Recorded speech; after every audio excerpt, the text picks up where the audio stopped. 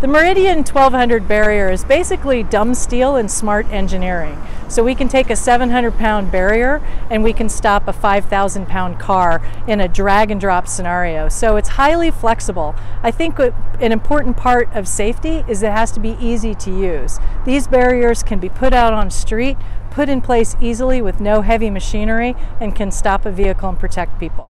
you can deploy this barrier with just one person. 700 pounds of steel, as long as you got physics in your favor, you can make it work.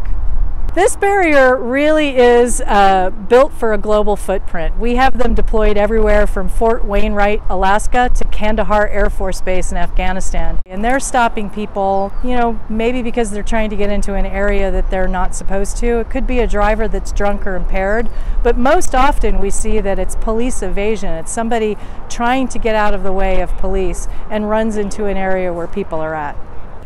Another part of the system are these arrestor cables. They are braided steel cables rated to 10,000 pounds that use locking clips to connect to the barriers, either at the horizontal plate so that pedestrians can continue to go through, or at the vertical plate to sort of act as a fence. And that just hardens the perimeter one step up.